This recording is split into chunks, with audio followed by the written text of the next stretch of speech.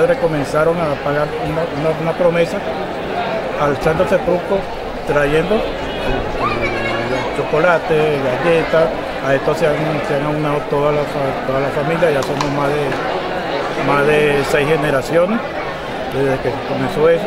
Todo comienza cuando mi padre fuera, estaba encarcelado en el régimen de, Pérez Jiménez, lo tenían cárcel, después llamado el Timba hizo la promesa y, entonces hemos ido llevando, a esto se han ido aunando otros amigos, otros familiares, con la ayuda de la empresa la empresa Nusita de Venezuela que nos aportó chocolate.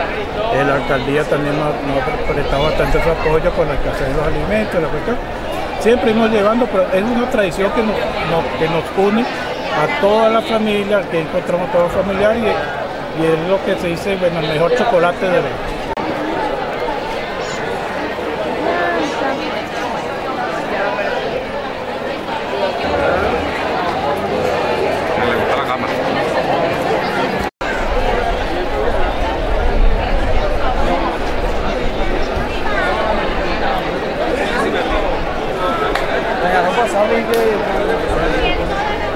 Agradecido a Miguel Ortiz su equipo de trabajo por esta oportunidad para conversar brevemente sobre el significado histórico popular de la procesión de la imagen del Santo Sepulcro. En primer lugar, bueno, quiero decirte lo impresionado que estoy por ese resurgimiento de la tradición en cuanto al velorio. Realmente, comparando años anteriores, impresionante la cantidad de personas que están hoy, Jueves Santo, para participar en el velorio del Santo Sepulcro. En este sentido, bueno, esto nos remonta a una cantidad de situaciones, de elementos históricos que nos permiten ver desde, la, desde los detalles del pueblo, de nuestro pueblo. Por lo menos entrando, nos recibió la familia francés quien tienen una tradición de más de 60 años colaborando con, el reparto del, chocolate, sus galletas y su respectivo taquito de queso. Más de 60 años.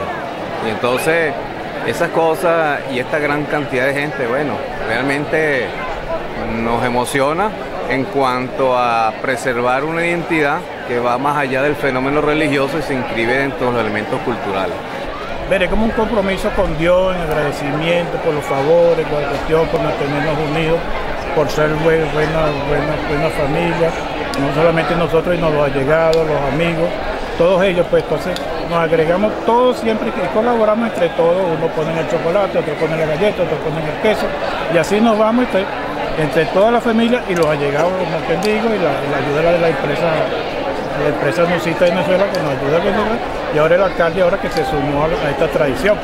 En la, unión de todos nosotros, aquí nos reunimos, un mes antes ya estamos haciendo los preparativos, nos unimos y, como todo, bueno, darle, darle, gracias a Dios por mantenernos unidos siempre a favor de, todos.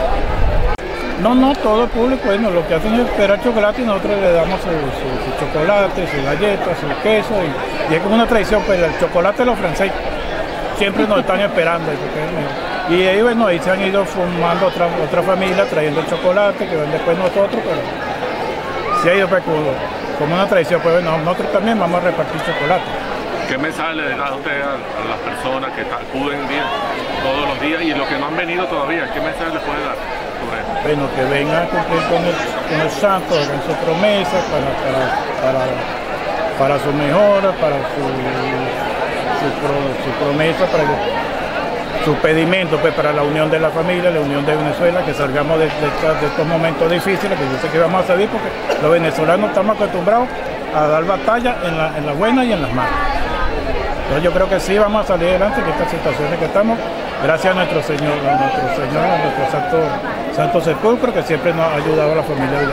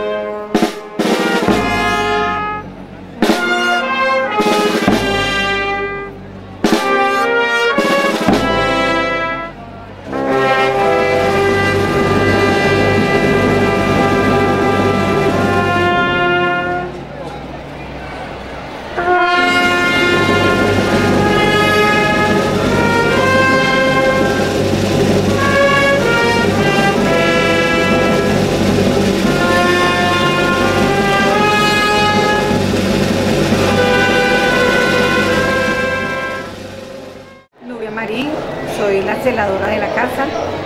Este, por tradición, este, mi familia tenemos entre mi abuelo, mi mamá y yo, 87 años cuidando este patrimonio. Este, nosotros aquí somos las personas que nos encargamos del cuidado, de la limpieza, de todo lo que se hace en una casa, más esta casa grande. ¿Cuánto tiempo tienes haciendo este trabajo aquí? De mantenimiento, de cuidado. 87 años. Mi, mi abuelo Marco González, Ana Belén Moreno y ahora novia María. Bueno, ¿por qué tu abuelo y tus familiares comenzaron con ese trabajo? Bueno, porque mi abuelo comenzó en el año 1930 cuando fue llamado por el doctor González Mijal. Y de ahí, bueno, venimos haciendo nosotros cadena. ¿Cuál es la mayor satisfacción que te da hacer este trabajo? Mira, eso es, te diría, te explicaría que para mí es una satisfacción muy grande, es una emoción, es algo, es tradición, no sé cómo llamarlo, pero de verdad es lo mejor que en mi vida me ha pasado. ¿Qué te ha dejado en sí eh, de tu vida, de cumplir con esta tradición? Eh. ¿De, de qué te ha servido? ¿En qué te ha transformado? Bueno, la tranquilidad, la paciencia, este, una labor muy hermosa que espero que Dios me dé mucha salud para continuar. ¿Qué mensaje le diría a todas las personas que vienen de año a año y los que no han venido? ¿Qué mensaje le puedes dar? El mensaje le doy que vengan para que sientan lo mismo que sentimos todos los villacuranos, es para nosotros el orgullo más grande de tener la imagen más hermosa de Venezuela.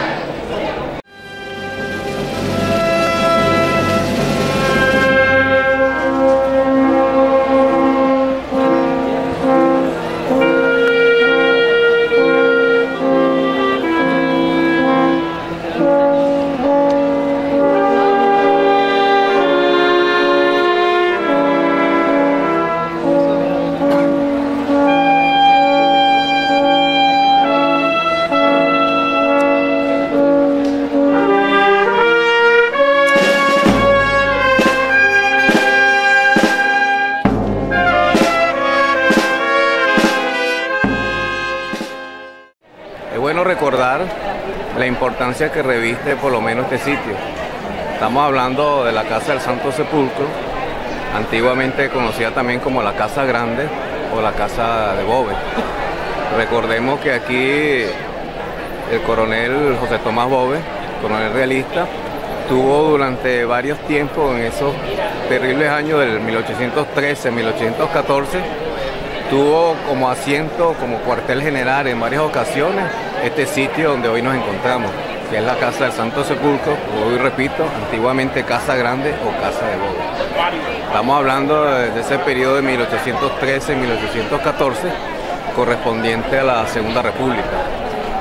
Igualmente interesante detallar que en el año 60, 1863, cuando Don Power adquiere esta casa, de mano de, de Genara Campuzano, ¿verdad?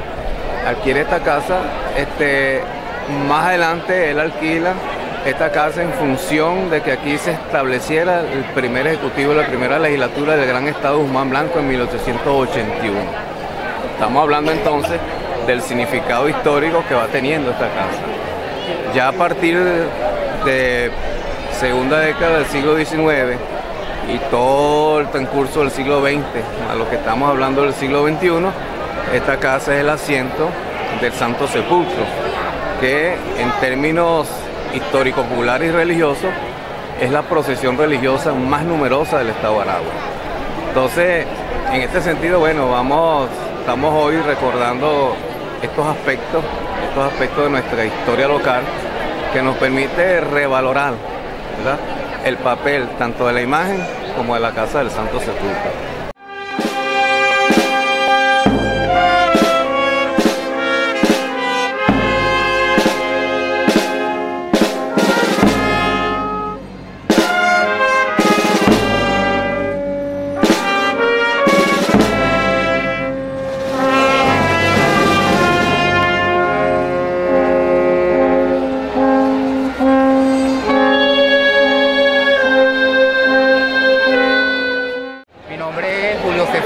Y soy fundador de San Juan Evangelista. y lo encontré abandonado en un local en las Mercedes. De ahí fundamos una sociedad del corazón de Jesús y ahí nosotros abrimos eso y el padre Felipe este, él nos convocó a una, a una reunión en la, en la catedral de aquí de Villa de Cura y él nos dice que un día esa iglesia se quemó y empezaron a sacar santos. Y resulta ser que él dice se perdió un santico que vestía de verde con rojo y él era San Juan Evangelista. Yo le digo a un sobrino mío que fuimos fundadores, se, se fundó en el 84 la Sociedad Religiosa San Juan Evangelista. Y de ahí el padre nos dice, este santo tienen que traerlo hacia la iglesia. Fuimos, lo fuimos, lo buscamos y quien lo arregló de verdad porque estaba muy deteriorado fue David Córdoba. Y de ahí, bueno, se funda la, sociedad y aquí estamos todos. Y en el pergamino lo primerito que le leí fue que dice así, este, divina, eh, Levántate, tía mía, tía querida del arma, que en el Calvario sangriento está mi primo clavado. Cinco puñaladas tiene, la menor le llega al alma. Tres por los pecadores y dos por salvar las almas. Firma Juan. Y de ahí, bueno, se fundó la sociedad y hoy en día estamos todos unidos, somos una buena sociedad. Siempre soy el decorador de San Juan Evangelista, le he hecho todo lo, tiene tres cambios en la semana y bueno, aquí todo para adelante pues, y con Dios y la Virgen y San Juan Evangelista, que nos siga uniendo y, el presidente Juan Cartaya, que siempre ha llevado la sociedad en alto, y como lo dije, el sobrino mío es Gavidao, que también fue fundador, y Luis Acevedo y muchos más así de la parroquia Las Mercedes. Eso fue todo, bueno, y gracias por, la entrevista y, aquí estoy con todos mis amigos de la Sociedad San Juan Evangelista.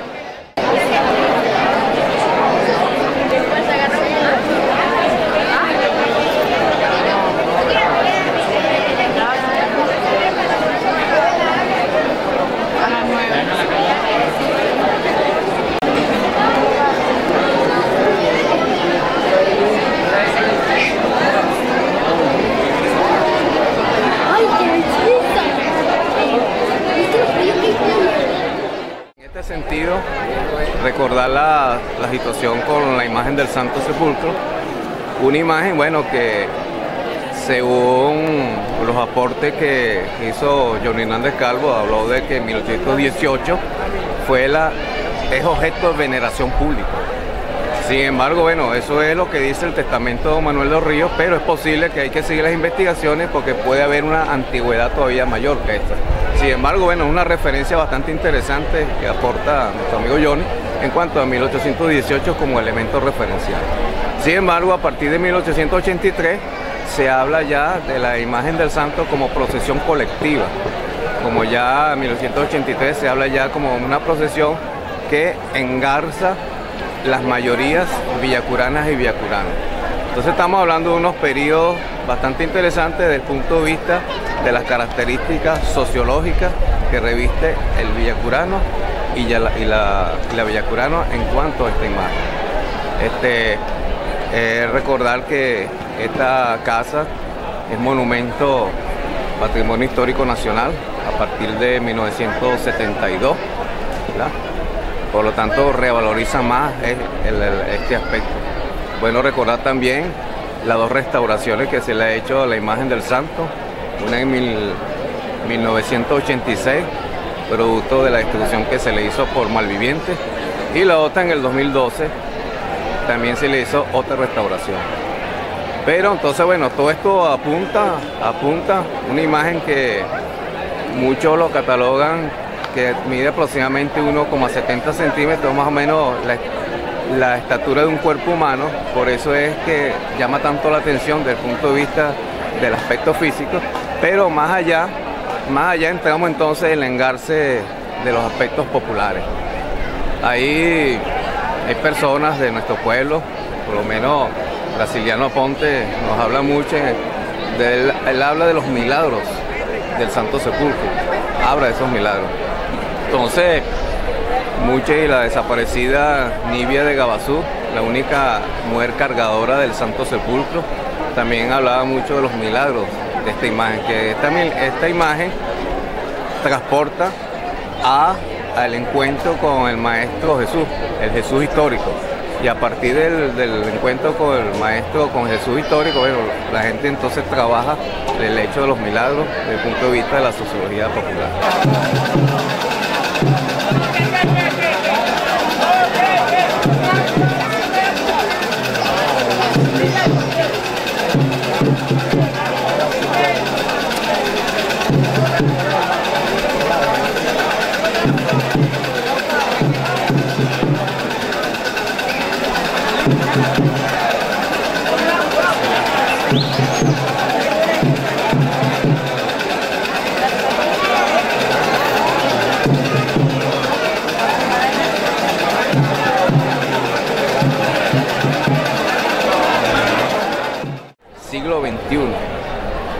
¿Qué impacto tiene esta imagen desde el punto de vista, desde el punto de vista en la, en la vida psicosocial del pueblo de Zamora, en particular de los villacuranos y villacuranos?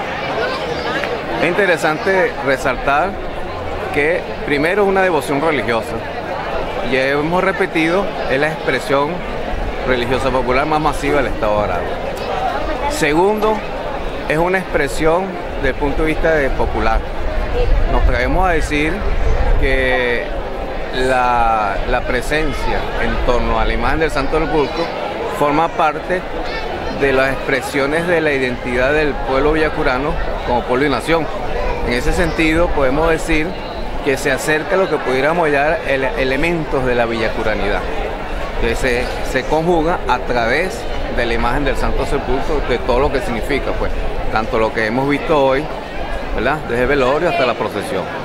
Y tercero, hay un aspecto bastante interesante que es lo que ocurre todos los Viernes Santos.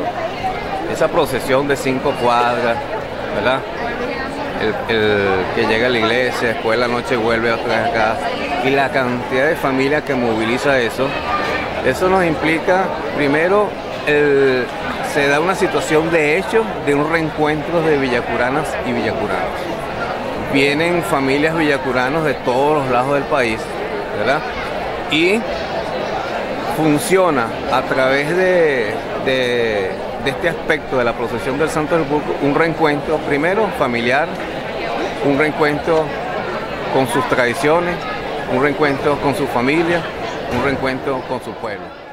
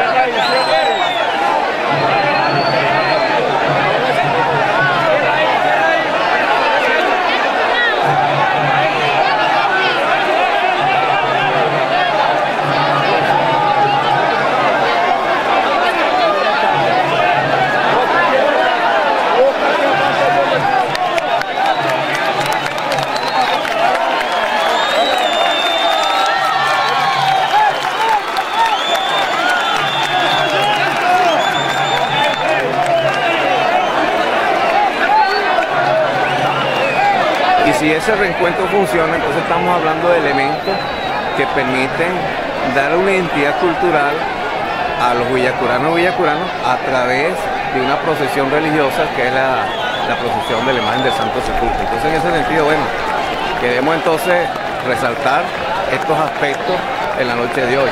El aspecto histórico, lo que se ha significado la casa, ¿verdad? Primero como, como cuartel en varias ocasiones del, del coronel realista José Tomás Bove. Segundo, haber sido asiento del primer ejecutivo en 1881 del gran estado Humán Blanco. Tercero, hacer asiento de la, del Santo Sepulcro.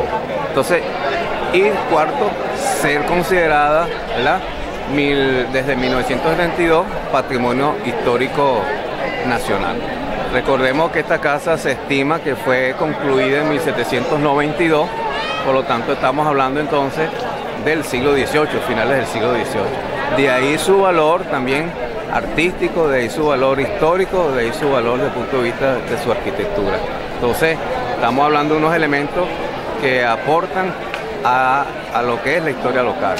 Y como historia local, entonces estamos, hemos hablado de estos cuatro elementos históricos, hemos hablado del elemento popular religioso, que es la manifestación religiosa más masiva del Estado de Aragua, y estamos hablando de la procesión del Santo Sepulcro que expresa, por un lado, los Viernes Santos, reencuentro de villacuranos y villacuranos, y por el otro lado, expresiones de la identidad que nos acerca a lo que puede ser la villacuranidad. Entonces, en este sentido, bueno, saludamos esta, esta breve entrevista como un modesto aporte de lo que pudiera ser la comprensión de este fenómeno religioso, cultural, popular que ocurre en Villa de Cura todos los años, que es la procesión de la imagen del Santo Sepulcro.